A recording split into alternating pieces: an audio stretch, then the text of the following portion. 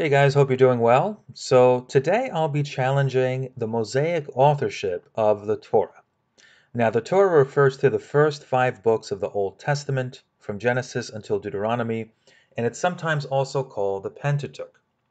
Now, as opposed to suggesting that these five books were written by a single author, traditionally identified as Moses, I'm going to be arguing that they are rather the work of a compiler someone that has taken four different sources and fused them together into a single narrative. Now, this is referred to as the documentary hypothesis, and it was first proposed by Julius Wellhausen in the 19th century. Some Christian apologists like Jay Dyer will say that this theory is no longer tenable, but this is not true. It is true that Wellhausen's original form of the theory is no longer accepted, but nonetheless, Scholars do accept that the Bible, or rather the Torah specifically, is the product of multiple pieces of, of documents that have been brought together. Okay, in fact, there's a consensus among biblical scholars that the Torah is not the work of a single author. Now, why is that? Well, the reason is that the Torah is full of contradictions, doublets, and abrupt discontinuations in narrative that cannot be explained by the work of a single author. A single author would be expected to have created a single narrative that is at least cohesive and coherent. Instead, we have these contradictions and these features that make that theory impossible. And so, as an example, if we were to ask, how many pairs of each animal was Noah to bring on the ark?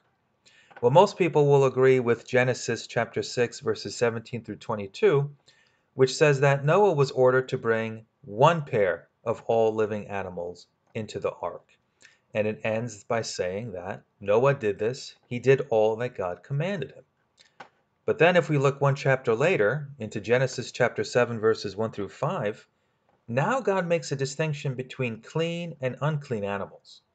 It says here that Noah is ordered to take seven pairs of all clean animals and only one pair of unclean animals.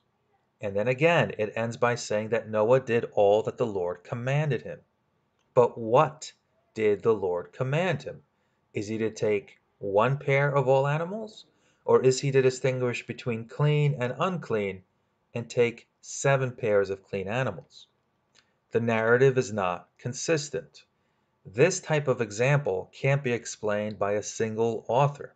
A single author wouldn't have composed two varying and contradicting accounts of the same command. Rather, this is better explained by a different document or source that has been brought together and compiled. Let's look at another example, and this is a, an example of an abrupt discontinuation in narrative. This is the blessing of Isaac I'm sorry, this is Isaac's blessing of Jacob. This is Genesis chapter 27. This takes place when Isaac is on his deathbed. He is described as being old, and his eyes were dim, and he could not see.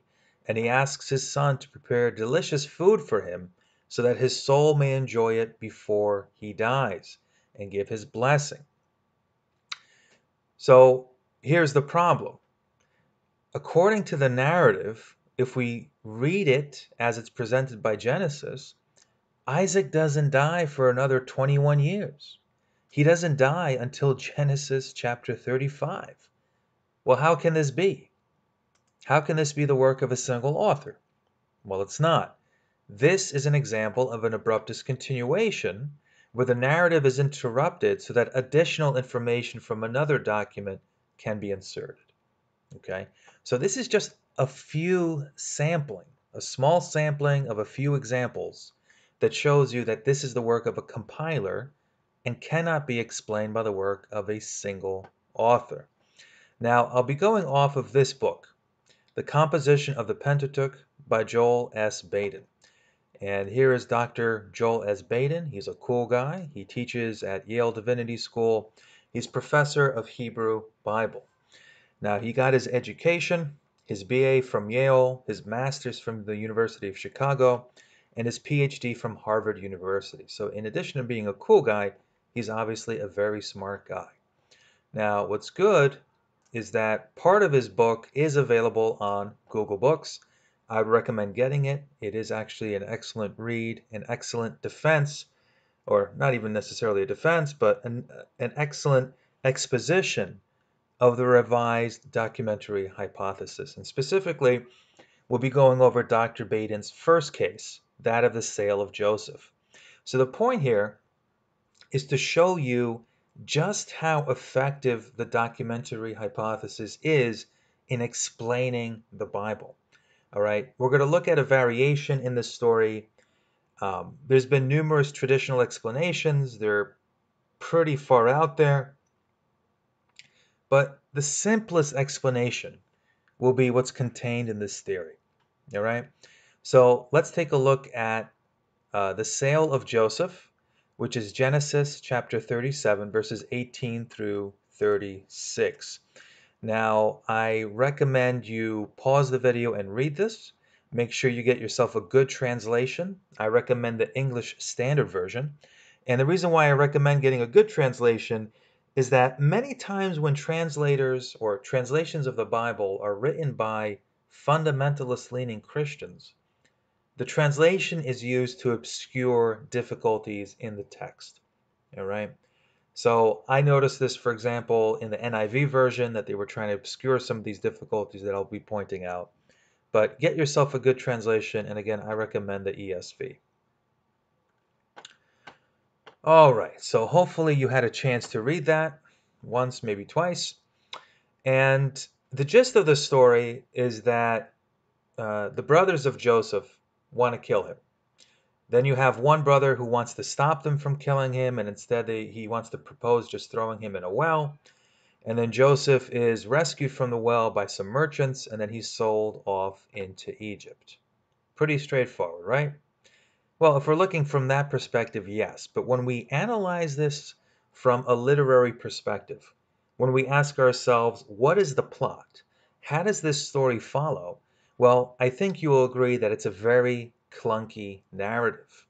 There are these obscure or weird repetitions, uh, uh, these strange transitions, and the story is essentially incomprehensible. We don't really know what is exactly going on here. So, for example, you know, it, it, you have these repetitions here, where, for example, the narrative says that uh, his brothers conspired to kill him, and that it says, "Come now, let us kill him." we have the brother Reuben say, hey, listen, um, let's not put our hands on him. Let's just throw him into the pit.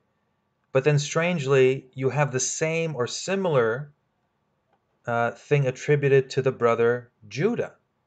Judah says, let's not put our hands upon him. He is our brother. So, why do you have these repetitions? And what's weird is why is Judah essentially saying something similar after the brothers already took on Reuben's plan. Furthermore, why is Reuben suggesting almost something similar to what the brothers wanted to do? Namely, that the brothers wanted to throw him into the pit. And then the biggest problem of all who sold Joseph to the Egyptians? Well, according to uh, verse 28, Joseph was sold to the Ishmaelites for 20 pieces of silver, and they took him to Egypt. But when you look at the end of the passage, it says that the Midianites sold Joseph to Egypt. So who was it? Was it the Midianites or the Ishmaelites? Now, what makes it even worse is that Genesis 39, verse 1, says it's the Ishmaelites again who brought Joseph to Egypt. So this is a major contradiction within this passage who sold Joseph to the Egyptians. Now, we're going to take a look at a couple classical solutions, and then we'll take a look at the documentary hypothesis solution. All right, so again, these are the problems of the narrative, which I just went over. And now let's go into some of the classical solutions. So the first solution is, let's just eliminate the problem. Let's cut out the elements of the narrative that we don't like to make the narrative more coherent. The second solution is let's just multiply the sales. Let's introduce some information into the text that's not there to make the narrative more intelligible. The third are linguistic gymnastics. Let's try to suggest that maybe these two groups are not really two groups, but one group, and that will solve the problem. And then the fourth solution is really a bonus one, more of a more hilarious scribal attempt to um, solve this problem. But the point is that all of these solutions, so-called, do not really resolve the problem and that the best solution will be found in the documentary hypothesis. So, eliminating a problem. This was done by the Book of Jubilees, which is a 2nd century BCE text, and it simply eliminates the mention of the Midianites and the abduction of Joseph. Okay, so let's eliminate it. Problem solved, right? Not exactly. The second solution is let's multiply the sales. Now, this was noted by Rabbi Judah and also Rabbi Huna. Rabbi Judah suggested that the brothers took Joseph out of the well, sold him to the Ishmaelites. The Ishmaelites sold him to some anonymous group of merchants. These merchants then sold them to the Midianites, and then the Midianites sold Joseph to the Egyptians. Uh, Rabbi Huna adds a fifth sale, where in Egypt, Joseph was sold to Potiphar.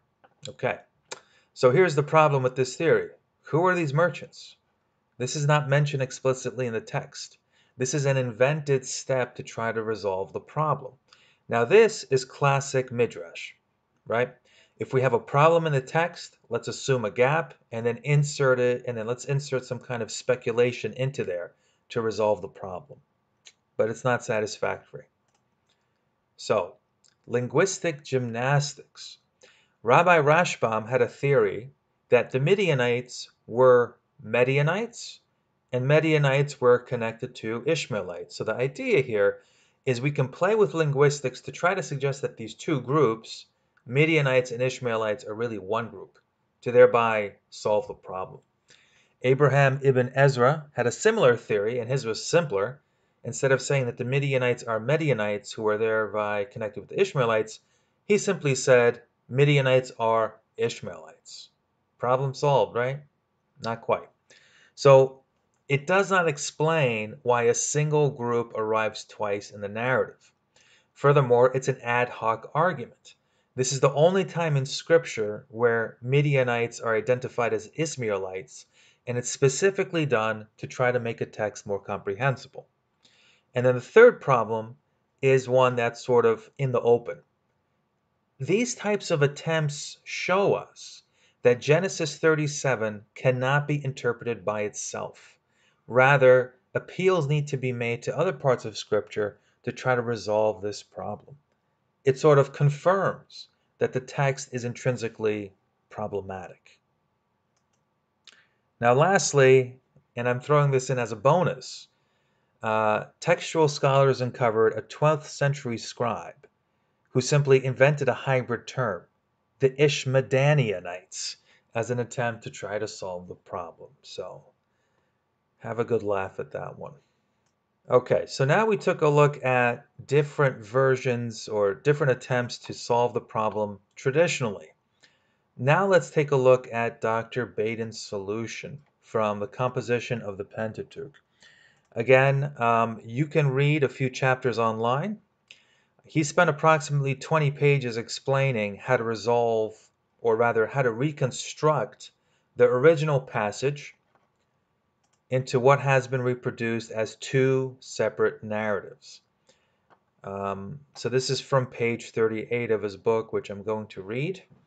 And look at the simplicity of this reconstruction and how without multiplying problems, without making um, the solution more complex, this is such a straightforward thing. So he reconstructs it as two separate narratives. This is the first narrative.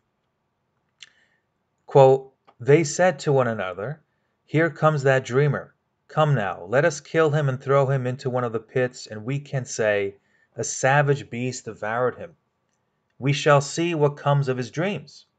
When Joseph came up to his brothers, they stripped Joseph of his tunic, the ornamented tunic that he was wearing. Looking up, they saw a caravan of Ishmaelites coming from Gilead. Their camels bearing gum, balm, and ladanum to be taken to Egypt. Then Judah said to his brothers, What do we gain by killing our brother and covering up his blood? Come, let us sell him to the Ishmaelites, but let us not do away with him ourselves. After all, he is our brother, our own flesh. His brothers agreed. They sold Joseph for twenty pieces of silver to the Ishmaelites, who brought Joseph to Egypt. Then they took Joseph's tunic, slaughtered a kid, and dipped the tunic in the blood. They had the ornamented tunic taken to their father, and they said, We found this. Please examine it. Is it your son's tunic or not? He recognized it and said, My son's tunic. A savage beast devoured him. Joseph was torn by a beast. Jacob rent his clothes, put sackcloth on his loins, and observed mourning for his son many days. All his sons and daughters sought to comfort him, but he refused to be comforted, saying, no, I will go down mourning to my son in Sheol. Thus his father bewailed him. Okay, so we can see just from the first narrative, this is coherent. No contradictions. It's a smooth flowing storyline. Now let's take a look at what Dr. Baden proposes as the second text that was uh, reconstructed here. Quote, they saw him from afar, and before he came close to them they conspired to kill him. But when Reuben heard it, he tried to save him from them. He said, Let us not take his life. And Reuben went on, Shed no blood. Cast him into that pit out in the wilderness, but do not touch him yourselves, intending to save him from them and restore him to his father. They took him and cast him into the pit. The pit was empty, there was no water in it. Then they sat down to a meal. When the Midianite when Midianite traders passed by, they pulled Joseph up out of the pit. When Reuben returned to the pit and saw that Joseph was not in the pit, he rent his clothes. Returning to his brothers, he said, The boy is gone. Now what am I to do? The Midianites meanwhile sold him in Egypt to Potiphar, a courtier of the Pharaoh and his chief steward. Now, this is a coherent narrative. And you see that individually, when you look at these reconstructed texts, they make sense individually. But when you try to combine them, you run into problems. Now, the interesting thing is that the compiler was faithful to the text in the sense that he is not actually picking which story should be preserved and which can be disregarded. Because if he did that, we would not be able to reconstruct the text.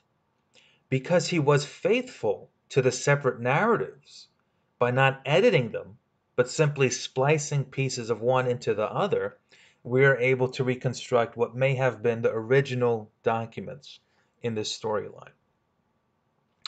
So I think you can see that instead of positing all these various solutions, which you technically can, right?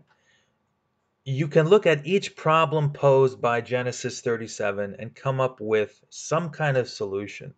But the problem is that the sheer number of these problems, if you look at them holistically, you cannot simply swipe them under the rug. You cannot simply appeal to ad hoc speculative arguments. Rather, you have to face this and recognize that we're dealing with something more complex here namely the compilation of the text, the fusing of numerous documents together. And when you look at a reconstruction like this that was proposed by Dr. Baden, I think this demonstrates the power of the documentary hypothesis. This shows you how valid this theory is, the fact that it can produce reconstructions like this. Now, the other question that we really have to address ourselves, especially if you're a Christian, is if this is true, how do you understand inspiration? Well, inspiration cannot be a singular event in the past. Rather, inspiration has to be a process that includes separate documents, includes compilation of these documents and redactions and layerings. Inspiration is a process. And furthermore, inspiration is dynamic. It's not static. All these things come from Scripture.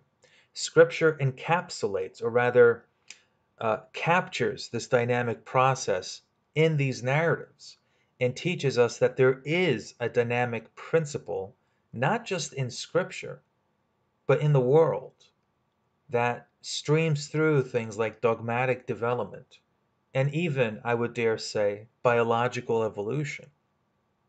So, in this one thing, so much of the mysteries of God are revealed. And I really do encourage you to read over the work of Dr. Baden. Again, uh, some of his book is available online. Do read it, do learn about it, and see that Scripture is far more complex and far more beautiful than what fundamentalists propose.